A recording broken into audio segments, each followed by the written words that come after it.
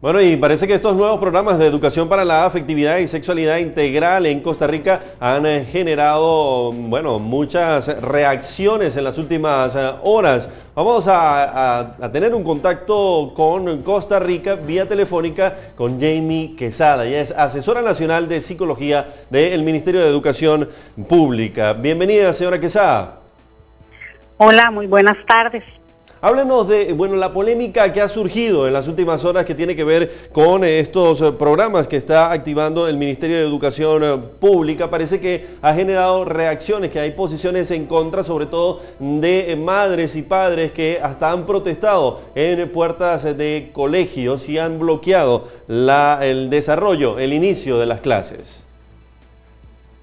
Sí, bueno, nosotros creemos que parte de lo que ha estado ocurriendo tiene que ver con la desinformación que a veces tienen padres y madres de familia en torno a qué es lo que los programas realmente abordan y sobre todo qué es lo que, cuáles son las habilidades que nosotros a través de estos programas queremos que los chicos y las chicas desarrollen en la vivencia de su afectividad y su sexualidad. Eh, por eso hemos estado haciendo un llamado importante para que padres y madres de familia se acerquen a los centros educativos. Ahí van a encontrar personal capacitado en los docentes de ciencias, de psicología, en las personas de orientación, en el personal administrativo, para que puedan podamos estudiar los programas y abordar las dudas, las inquietudes que ellos y ellas tengan. Pero algo muy importante, y es que eh, si después de este estudio detallado de los programas, los papás y las mamás y los encargados legales deciden que este no es, no es un programa apropiado para sus hijos e hijas, ya el Ministerio, obedeciendo a un voto de la sala desde el año 2013, tiene un mecanismo que es muy simple, el padre o la madre eh, hace una carta dirigida al director institucional donde solicita que su hijo no reciba la asignatura, porque no queremos imponer de ninguna manera eh, la asignatura a ningún chico, a ninguna chica y por supuesto a ninguna familia.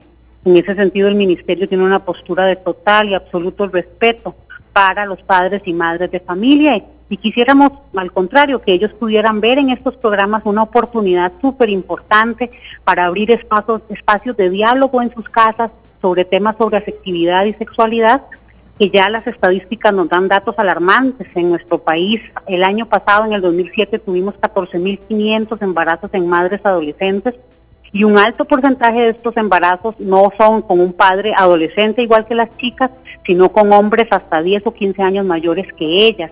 Y en esto en nuestro país, por ejemplo, ya está legislado por una ley de relaciones impropias. Entonces estamos hablando de delitos.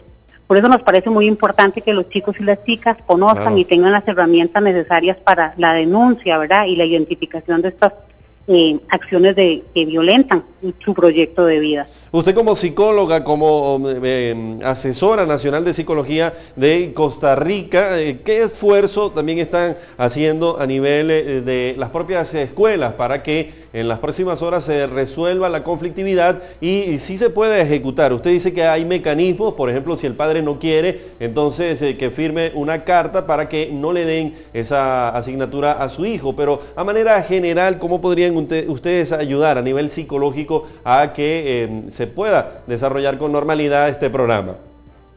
Sí hay cosas importantes a tomar en cuenta. Una ha sido que existe desinformación porque los programas que se están desarrollando, que se van a desarrollar, son para secundaria, es decir, para chicos que en nuestro país es tercer ciclo, séptimo, octavo y noveno, y diversificado eh, décimo y undécimo. No son para chicos en edad escolar.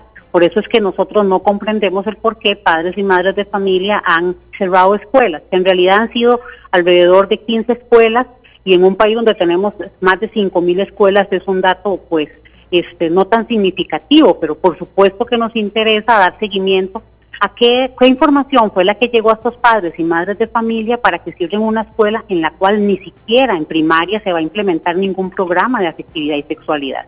¿Qué esfuerzos estamos haciendo? La opción número uno que tenemos como Ministerio de Educación. Hemos desplazado equipos técnicos a los lugares donde se han presentado estos cierres en escuela para reunirse con directores, con padres y madres de familia. Queremos sentarnos, queremos que ellos revisen los programas de primaria, queremos hablar con ellos para que vean qué es lo que estamos impartiendo y cómo en ninguna medida eso daña a sus hijos y a sus hijas. Todo lo contrario, el ministerio lo que quiere constituirse es un factor de protección para los chicos y las chicas.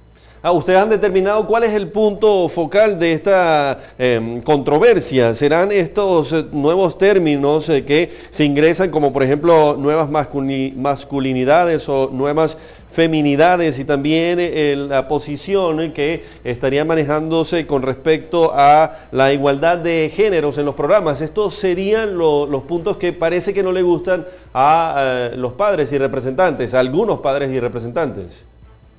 Bueno, efectivamente hemos hecho un estudio a lo interno del ministerio, sobre todo de las diferentes publicaciones y expresiones que se oyen en la calle y algunos mitos, y hemos detectado, sí, algunos mitos que se tienen en torno a estos programas. Uno de ellos tiene que ver con eh, la diversidad sexual.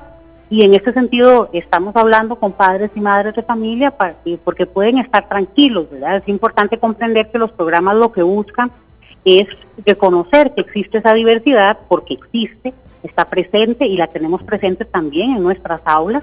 Eh, y lo que nos interesa es que los chicos y las chicas comprendan que esa diversidad existe y que debe ser respetada. Hemos tenido denuncias dentro de nuestro sistema educativo de chicos y chicas que por tener una orientación sexual diferente eh, reciben agresión, son encerrados en baños, les golpean y terminan saliendo del sistema educativo eh, frustrando su proyecto de vida por la falta de oportunidades que puedan tener después. Entonces el programa lo que pretende es decir, ok, la diversidad sexual existe y debe ser respetada, ¿verdad? Este, es, es todo lo que los programas pretenden hacer, no tienen la capacidad de hacer otra cosa más que esa, ¿verdad? Bueno, también estaba viendo un punto interesante que tiene que ver con eh, hacerles reflexionar a, los jóvenes también la necesidad de, por ejemplo, enfrentarse o evitar algún tipo de relaciones que puedan ser peligrosas y también evitar el abuso. Eso es un punto positivo. Ya eh, como última pregunta le quería preguntar, le quería hacer una referencia a esto, ¿no? Lo positivo que se ve también que eh, se busquen responsabilidades y que se establezca la preocupación en los niños y adolescentes. Si hay un énfasis que tienen estos programas de estudio es precisamente que los chicos y las chicas puedan desarrollar relaciones entre amigos y de pareja libres de violencia y libres de abuso que tanto ellos, si es que están siendo agresivos o están recibiendo agresión, puedan detectar esas señales de alarma que me dicen esta relación me está violentando, esta relación está deteniendo mi desarrollo como ser humano integral, como persona, esta relación podría llegar a frustrar mi proyecto de vida y cómo ellos pueden tener herramientas para poder enfrentar eso de una manera diferente. Y hacemos mucho énfasis, sobre todo en el programa de décimo, para que los chicos y las chicas, ya no solo les decimos, denuncien si están en una situación de violencia, no, les decimos el A, B y C de cómo pueden interponer estos chicos y chicas las denuncias en las diferentes entidades que tenemos a nivel estatal.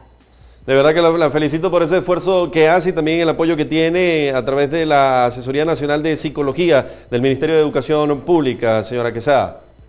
Muchas gracias. Este, nosotros indiscutiblemente estamos eh, muy claros en que este es un deber del Estado que queremos hacer en conjunto y con apoyo de los padres y madres de familia, pero como Estado costarricense, el Ministerio de Educación tiene una tarea fundamental de proteger y ayudar a los chicos a que tengan herramientas para enfrentar las diversas situaciones que, les presenta su cotidianidad.